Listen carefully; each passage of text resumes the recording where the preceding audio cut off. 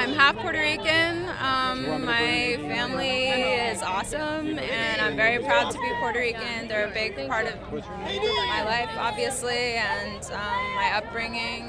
And it's cool to kind of, you know, combine that with work stuff and to be known as a Latina actress.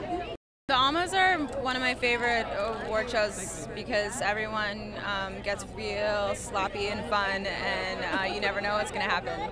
So I'm just excited to sit back and see what happens.